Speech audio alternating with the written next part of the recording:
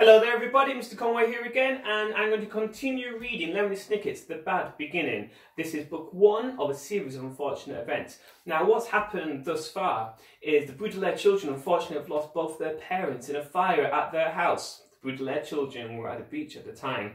Now all of the wealth and fortune of Mr and Mrs Baudelaire has been left to Violet, who is the oldest of the Baudelaire children, but she can't access the money until she becomes of age. Now, the children have been adopted by their nearest relative, Count Olaf, which you must have figured out by now is a terrible, terrible person. Now, through a series of unfortunate events, the children have discovered that Count Olaf and his theatre friends are trying to plot a secret plan to steal the money from the Baudelaire children. Chapter 5 Unless you have been very, very lucky, you have undoubtedly experienced events in your life that have made you cry. So unless you have been very, very lucky, you know that a good long session of weeping can often make you feel much better, even if your circumstances have not changed one bit. So it was with the Baudelaire orphans. Having cried all night, they rose the next morning feeling as if a weight had been lifted off their shoulders. The three children knew, of course, that they were still in a terrible situation, but they thought they might do something to make it better. The morning's note from Count Olaf ordered them to chop firewood in the backyard, and as Violet and Klaus swung the axe down over each log to break it into smaller pieces, they discussed possible plans of action, while Sunny chewed meditatively on a small piece of wood. Clearly, Klaus said, fingering the, the ugly bruise on his face where Count Olaf had struck him, we can't stay here any longer. I would rather take my chances on the streets than live in this terrible place. But who knows what misfortunes would befall us on the streets? Violet pointed out. At least here we have a roof over our heads. I wish our parents' money could be used now instead of when you come of age, Klaus said. Then we could buy a castle and live in it, with armed guards patrolling the outside to keep out Count Olaf and his troupe. And I could have a large inventing studio, Violet said wistfully. She swung, she swung the axe down and split a log nearly neatly in two, filled with gears and pulleys and wires and an elaborate computer system. Oh, and I could have a large library, Klaus said, as comfortable as Justice Strauss's, but more enormous. Gibbo! Sunny shrieked, which appeared to mean, and I could have lots of things to bite. But in the meantime, Violet said, we have to do something about our predicament. Perhaps now Justice Strauss could adopt us, Klaus said. She said we were always welcome in her home, but she meant for us, uh, she meant uh, for a visit, or to use her library. Violet pointed out, she didn't mean to live. Perhaps if we explained our situation to her, she would agree to adopt us, Klaus said hopefully. But when Violet looked at him, she saw that he knew it was of no use. Adoption is an enormous decision, and not likely to happen impulsively. I am sure you in your life have occasionally wished to be raised by different people than the ones that you than the ones that who are raising you now. But knew in your heart that the chances of this were very, very slim. I, I think we should go see Mr. Poe, Violet said. He told us when he dropped us here that we could contact him at the bank if we had any questions. Well, we don't really have a question, Klaus said. We have a complaint. He was thinking of Mr. Poe walking around them at, at Briny Beach with his terrible message, even though the fire was of course not Mr. Poe's fault. Klaus had reluctant to see Mr. Poe because he was afraid of getting even more bad news. I can't think of anyone else to contact, Violet said. Mr. Poe is in charge of our affairs, and I'm sure he knew, if he knew how horrid Count Olaf is, he would take us right out of here. Klaus pictured Mr. Poe arriving in his car and putting the Baudelaire orphans inside to go somewhere else, and felt a string of hope. Anywhere, anywhere would be better than here. Okay, he said, let's get this firewood all chopped and we'll go to the bank. Invigorated by their plan, the Baudelaire often swung their axes at amazing speed, and soon enough they were done chopping firewood and ready to go to the bank. They remembered Count Olaf saying he had a map of the city, and they looked thoroughly for it. But they couldn't find any trace of a map, and decided it must be in the tower, where they were forbidden to go. So, without directions of any sort, the Baudelaire children set off for the city's banking district in hopes of finding Mr. Poe. Now, after walking through the meat district, the flower district, and the sculpture district, the three children arrived at the banking district, pausing to take a refreshing sip of water at the fountain of Victoria's finance. The banking district consisted of several wide streets with large marble buildings on each side of them, all banks. They went first to Trustworthy Bank, and then to Faithful Savings and Loan, and then to Subservience Financial Services, each time inquiring for Mr. Poe. Finally, a receptionist that was observant said she knew that Mr. Poe worked down the street at Mulctuary Bank, uh, Mulctuary Morning Money Management. The building was square and rather plain looking, though once inside the three orphans were intimidated by the hustle and bustle of the people as they raced round the large, echoey room. Finally, they asked a, a uniformed guard whether they had arrived at the right place to speak to Mr. Poe, and he led them into a large office with many file cabinets and no windows. Why, hello, said Mr. Poe in a puzzled tone of voice. He was sitting at a desk covered in typed papers that looked important and boring, surrounding, a, surrounding a, a, small frame of his wife and two beastly children. Um, there were three tel telephones and flashing lights. Please, come in now. Thank you, said Klaus, shaking Mr. Poe's hand. The Baudelaire youngster sat down in the three large and uncomfortable chairs. Mr. Poe opened his mouth to speak, but had to cough into a handkerchief before he could begin. I, I am very busy today, he said finally, so I don't have much time to chat. Next time, you should call ahead of time when you plan when you plan on being in the neighbourhood, and I will put some time aside to take you to lunch. That would be very pleasant, Violet said, and we're sorry we didn't contact you before. We stopped by, but we find ourselves in an urgent situation. Count Olaf is a madman, Klaus said, getting right to the point. We cannot stay with him. He struck Klaus across the face. See his bruise? Violet said. But just as she said it, one of the telephones rang in a loud, unpleasant wail. Excuse me, Mr. Poe said, and picked up the phone. Poe here, he said, into the receiver. What? Yes, yes, yes, yes, no, yes, thank you. He hung up the phone and looked at the Baudelaires as if he had forgotten they were there. Uh, I'm sorry, Mr. Poe said. What were you talking about? Oh, yes, Count, Olaf. I'm sorry you don't have a good first impression of him. He was only he has only provided us with one bed, Klaus said. He makes us do a great many difficult chores. He drinks too much wine. Excuse me, Mr. Poe said, as another telephone rang. Poe here, he said. Seven, seven, seven, seven, six and a half, seven. You're welcome. He hung up and quickly wrote something down on one of his papers, then looked at the children. I'm sorry, he said. What you were saying about Count Olaf, making you do chores, doesn't sound too bad. He calls us orphans. He has terrible friends. He's always asking about our money. Poco! This was from Sunny. Mr. Poe put up his hand to indicate he had heard enough. Children, children, he said, you must give yourselves time to adjust your new home. You've only been there a few days. We have been there long enough to know Count Olaf is a madman, Klaus said. Mr. Poe sighed and looked at each of the three children. His face was kind, but he didn't look like he really believed what the Baudelaire orphans were saying. Are you familiar with the Latin term loco parentis? he asked. Violet and Sunny looked at Klaus, the biggest reader of the three. He was the most likely to know vocabulary, words, and foreign, in foreign phrases. Something about trains? he asked. Maybe Mr. Poe was going to take them by train to another relative. Mr. Poe shook his head. In loco parentis mean, means acting in the role of parent, he said.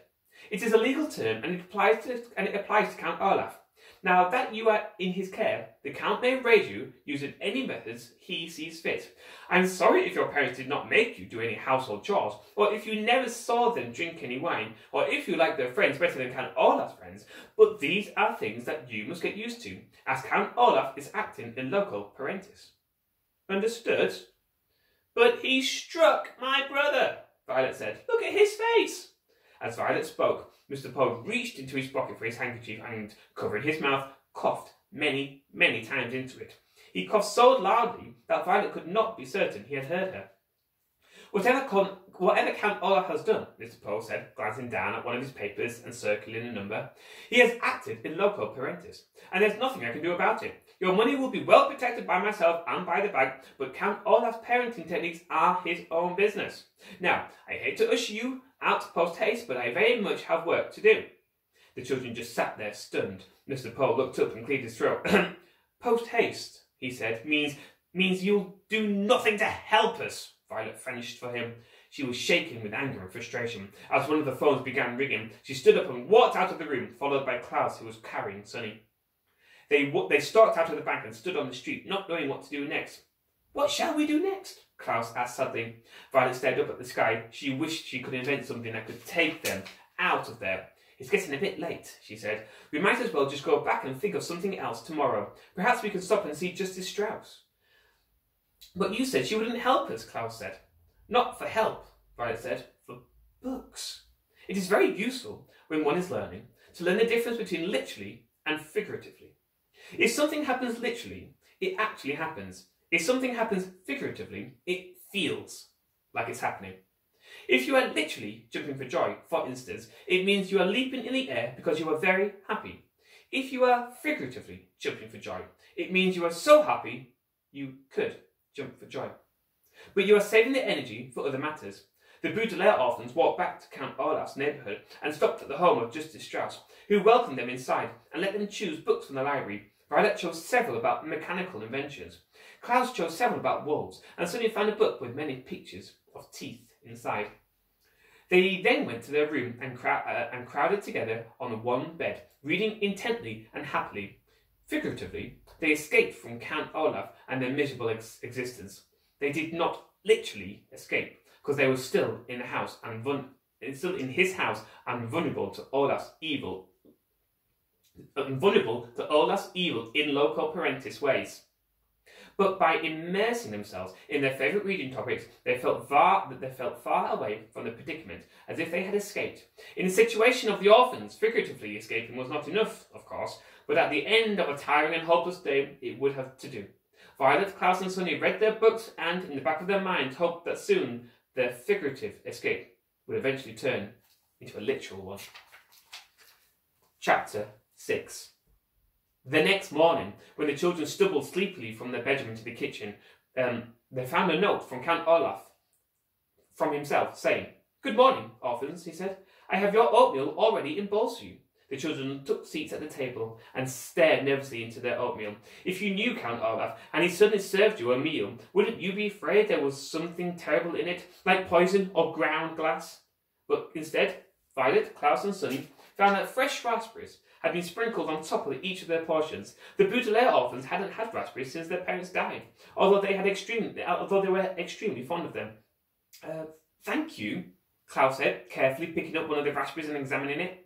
Perhaps these were poisonous berries that just looked like delicious ones. Count Olaf, seeing how suspicious Klaus was looking at the berries, smiled and plucked a berry out of Sunny's bowl. Looking at each of the three youngsters, he popped it into his mouth and ate it. Hmm, aren't raspberries delicious? he asked. They were my favourite berries when I was your age. Violet turned, tried to picture Count Olaf as a youngster, but couldn't. His shiny eyes, bony hands, and shadowy smile all seemed to be things only adults possess. Despite her fear of him, however, she took her spoon in her right hand and began to eat her oatmeal. Count Olaf had eaten some, so it probably wasn't poisonous. And anyway, she wasn't very hungry. Klaus began to eat too, as he did Sunny who got oatmeal and raspberries all over her face. I received a phone call yesterday, Count Olaf said, from Mr. Poe. He told me you children had been to see him. The children ex exchanged glances. They had hoped their visit had, would be taken in confidence, a phrase which here means kept a secret between Mr. Poe and themselves, and not blabbed to Count Olaf. Mr. Poe told me, Count Olaf said, that you appeared to be having some difficulty just into the life I so graciously provided for you. I'm so sorry to hear that. The children looked at Count Olaf. His face was very serious, as if he were very sorry to hear that, but his eyes were shiny and bright the way they were when someone is telling a joke. Is that so? Violet said. I'm sorry Mr. Poe bothered you. I'm glad he did, Count Olaf said, because I want the three of you to feel at home here, now that I am your father. The children shuddered a little at that, remembering their own kind father and gazing sadly at the poor substitute now sitting across the table from them.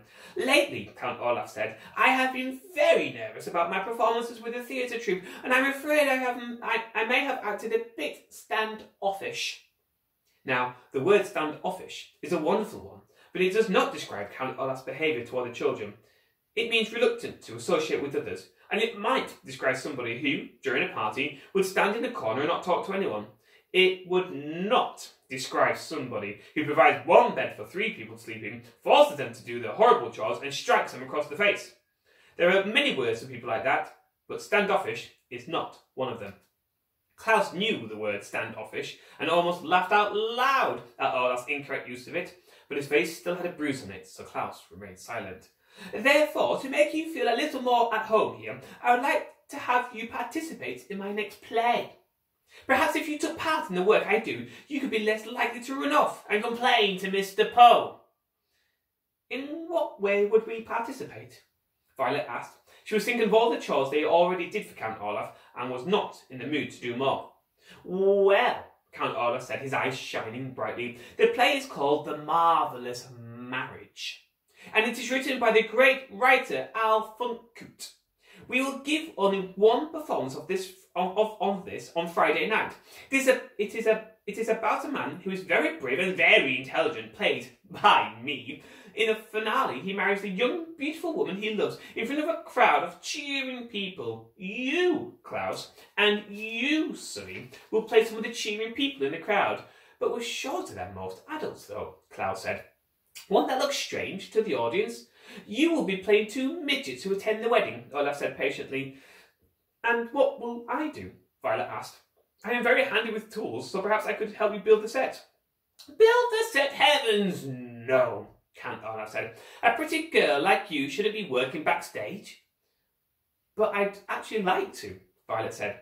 Count Olaf's oh, one eyebrow raised slightly, and the Baudelaire orphans recognised a sign of his anger.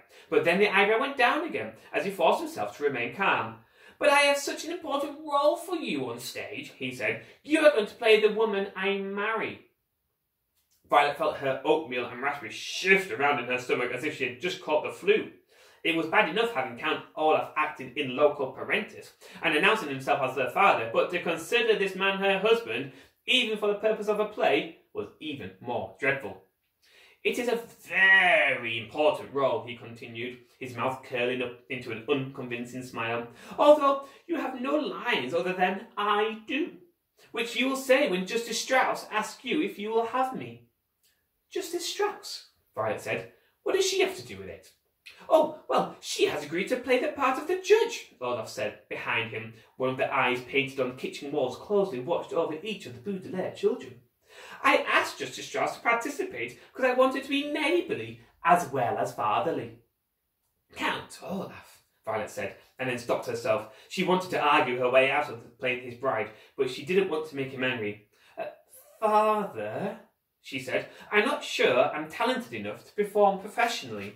I would hate to disgrace your good name and the name of Al Funcoot. Plus, I'll be very busy in the next few weeks working on my inventions and learning how to prepare roast beef, she added quickly, remembering how he had behaved about dinner. Count Olaf reached out one of his spidery hands and stroked Violet on the chin, looking deep into her eyes. You will he said. Partic- you will participate in this theatrical performance. I would prefer it if you would participate voluntarily. But, as I believe Mr. Poe explained to you, I can order you to participate. You must obey. Olaf's sharp and dirty fingernails gently scratched on Violet's chin, and she shivered. The room was very, very quiet as Olaf finally let go and stood up and left without a word. The Baudelaire children listened to his heavy footsteps go up the stairs to the tower, there where they were forbidden to enter. Well, Klaus said hesitantly, I guess it won't hurt to be in the play. It seems to be very important to him, and we want to keep on his good side. But he must be up to something, Violet said. You don't think those berries are poison, do you? Klaus said worriedly. No, Violet said. Olaf is after the fortune we will inherit. Killing us would do him no good. But what good does it do him to have us to be in his stupid play? Hmm, I don't know, Violet admitted, admitted miserably. She stood up and started washing out the, the oatmeal bowls. I wish we knew something more about inheritance law, Klaus said. I'll bet Count Olaf has cooked up some plan to get our money, but I don't know what it could be. I guess we could ask Mr. Poe about it, Violet said doubtfully, as Klaus stood, stood beside her and dried the dishes. He knows all the Latin legal phrases. But Mr. Poe would probably call would probably call Count Olaf again, and then he'd know we were on to him. Clausen pointed out, maybe we should try to talk to Justice Strauss. She's a judge, so she must know about all the laws. But she's also Olaf's neighbour, Violet replied, and she might tell him that what we had asked. Klaus took off his glasses, which he often did when he was thinking hard. How could we find out about the law without Olaf's knowledge? Sunny shouted suddenly. She probably meant something like, Would somebody please wipe my face? But it made Violet and Klaus look at each other. Oh, book. They were both thinking the same thing. Surely Justice Strauss would have a book on inheritance law. Count Olaf didn't leave us to do any chores, Violet said, so I suppose we are free to visit Justice Strauss and her library. Klaus smiled. Yes, indeed, he said. And you know, today I don't think I'll choose a book on walls. Nor I, Violet said. On mechanical engineering, I think I'd like to read about inheritance law. Well, let's go, Carl said. Justice Strauss said we could come over soon, and we don't want to be standoffish. At the moment of the word that, that Count Olaf had used so ridiculously, the Baudelaire children all laughed. Even Sunny, who of course did not have a very big vocabulary. Swiftly, they put away the clean oatmeal bowls in the kitchen cupboard, which watched them with painted eyes. Then the three young people ran next door. Friday, the day of the performance, was only a few days off, and the children wanted to figure out Count Olaf's plan as quickly as possible. That's the end of chapter 6. So we'll continue reading this in our next video. I hope you enjoyed that, everybody, and I'll see you again soon. Bye!